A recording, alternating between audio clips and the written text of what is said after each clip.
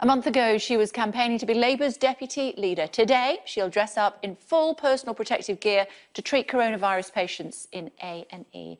Labour's Dr Rosena Allin-Khan has answered the call of the NHS and returned to work at her local hospital in South London. She's joining us now. Hello to you. Thank you for joining us. My goodness me, quite a change for you over the last months. How are you adapting to it?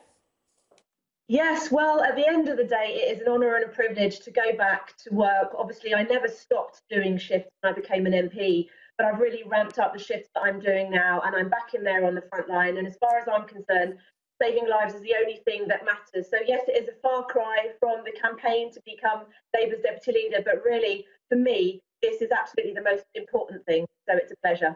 Yeah, politician to front line, but also daughter. We heard you speaking in the House of Commons about your dad. This is what you had to say.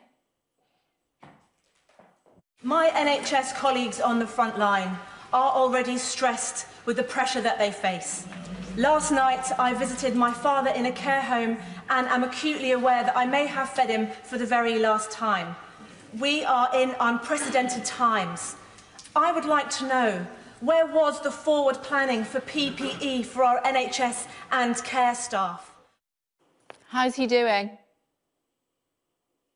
He's okay. He's not eating much because he only really eats if my brother or I go and feed him. And obviously, we have really been observing the social distancing measures and not going to visit him.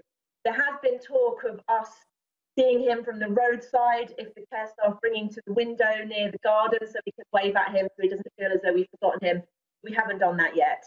So much criticism mounting now for the government, not least because of uh, what has been described as a lack of PPE for frontline workers. What would Labour be doing differently at this point? For me, I'm actually going to answer this question not as a Labour politician. I'm going to answer this as a doctor on the front line.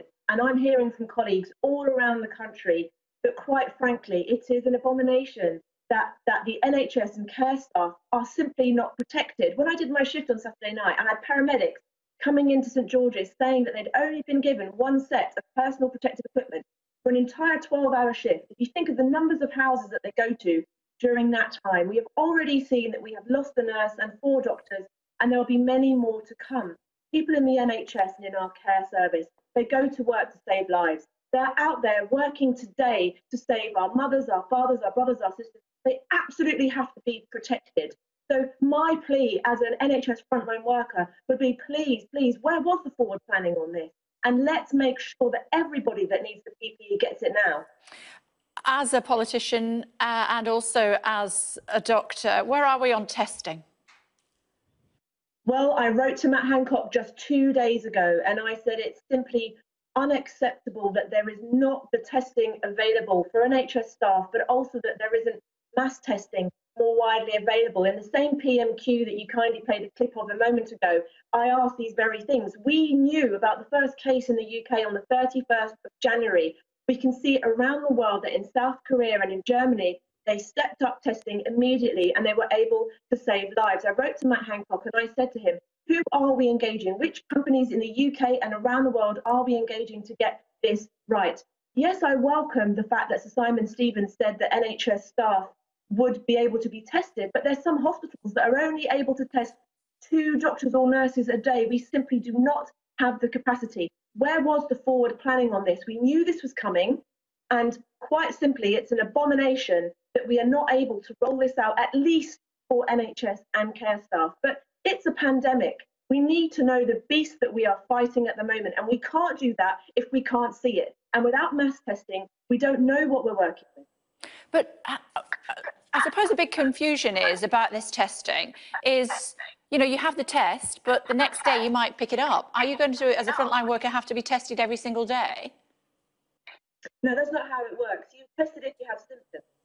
So essentially, if you have symptoms and feel better after three days, at this point in time, you have to self isolate for a continued period. If you know if you've had the test, go back to work because we already know that quarter of NHS frontline staff are currently off work. That's making it much harder for us to do the job that we need to do of saving people's lives. Okay, you are on the front line at the moment, as we said, doing your job uh, for the A&E, answer the call when most needed. Um, if you get the call on Saturday to be the deputy leader, will you also do that?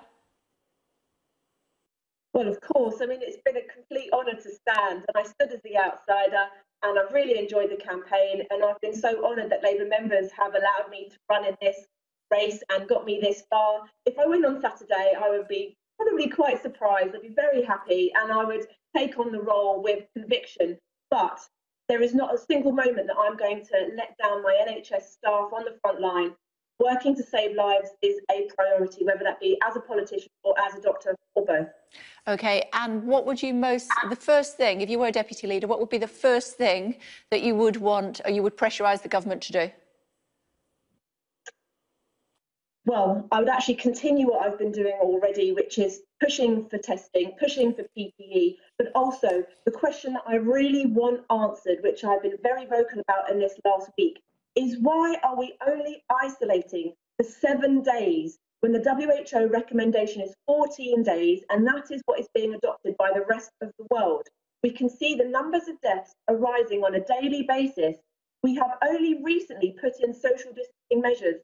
I want full transparency on what is it that we seem to know that the rest of the world doesn't because it's not simply okay to self isolate for seven days when the WHO have made it very clear you can still be infectious. Look, we're all going to work to save lives in the NHS. We need the government and the public to help us to help them.